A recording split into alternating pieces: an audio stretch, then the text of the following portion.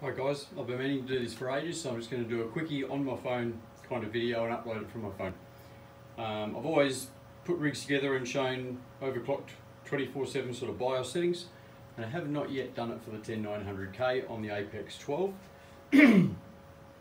so that's the hardware, and it's running um, uh, G-Skill Royals although I've taken the ugly heat spreaders off and put some copper heat uh, EK heat ones on. Uh, 4600 C18 B-die um, and I love to tweak a nice little crisp daily and, and whatnot and that's where this one's at currently at, at, I mean you could do a multitude of different combinations but I'm running a high frequency C18 uh, with some tightened uh, subs and stuff like that. So anyway I'll get to it I just show, as you know, all the all the screens uh, so that um, you don't question as to whether you're doing something wrong in a screen I don't show. So um, yep, I chose XMP1 here to have more control over the memory timings there. Cycle cores at 5.3. Uh, my SP prediction down here is that it's only a 67 chip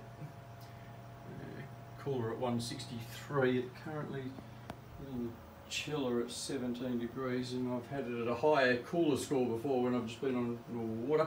Strange.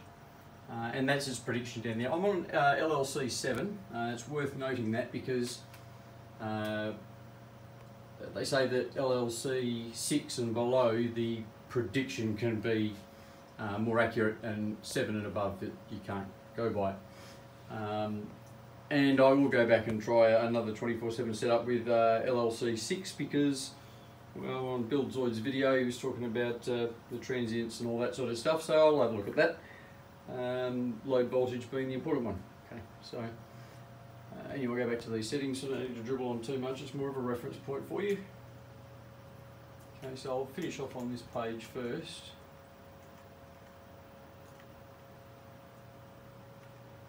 I need a little bit of uh, voltage. I, I don't know if it's the, I might not have a what you call a good bin motherboard. Uh, I need a bit of uh, I/O and I, I, need a bit of SA. If, if I want to go to really overclocking type stuff, you know, I'm getting 1.6 SA in no time. Whoops.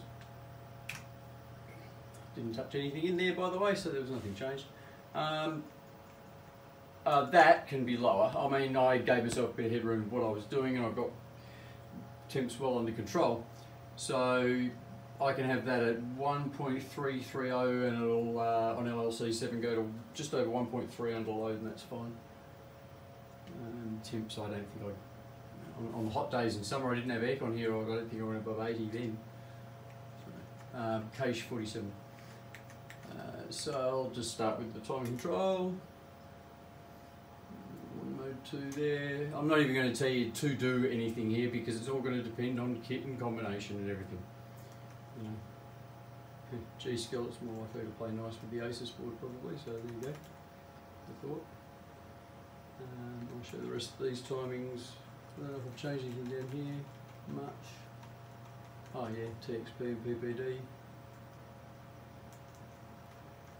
That's it for there.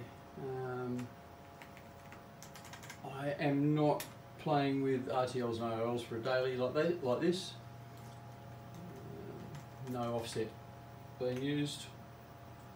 Um, so I'm trying to do two things at once for you.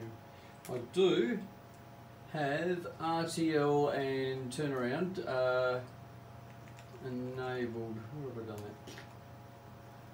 I'm done. There you go, round trip latency and turnaround timing training, I've got those enabled and where, if I have a, where is it, centering voltage? Mm, there's a centering voltage on there. I need to, uh, command rate one to make sure that's going to be more of more right. I'll come back and check that afterwards. Anyway, there's a sitting there, but that's working as it is fine at the moment. Uh, Settings and stuff.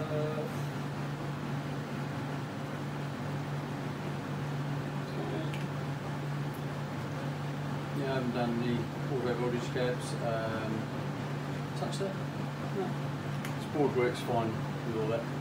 Changed a couple of settings, it sets it to extreme anyway. Uh, no, did I turn them off? No, I didn't turn them off either. Did bugger all in here as well. The board does control itself pretty well. Oops.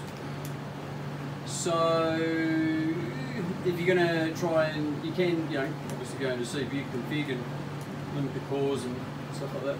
I'm not an idiot. Idiot.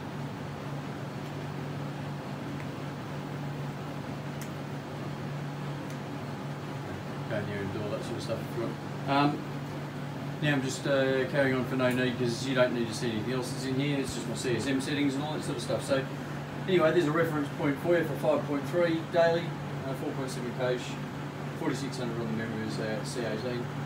Um, that helps you work around any issues or get to where you want to go. Um, I would say to you that the CPU is probably doing some pretty good clocks for that voltage, um, especially saying it's 67. I've seen better. Um, I've, I've, run one that did, uh, the temperature of the water was only about 9, so the efficiency would have been a little bit improved, but it was uh, 5.5 for, oh, 1.4 volts or something, right, it was fantastic. Uh, under, under 1.4, 1.375, uh, 3, 4 volts. So yeah, it's not the best, but it's a pretty good chip. So if you've if you've got one that's not matching up to it, don't be too hard on yourself. Maybe 50% of them might not, you know. So, anyway, uh, oh, but uh, BIOS, this, you know, BIOS on, uh, on that. Um, I'm not using. Um, I am using a, a U-code BIOS, not a no U-code BIOS. So it's not modded to take the patches out, which you would need if you want to really do some overclocking memory for 32 and Super or anything. Um, but uh, 2004. Alright. Ciao for now. Oh, you do the subby thing and the likey thing and you get all that stuff just to say hi, you know. Uh, go on.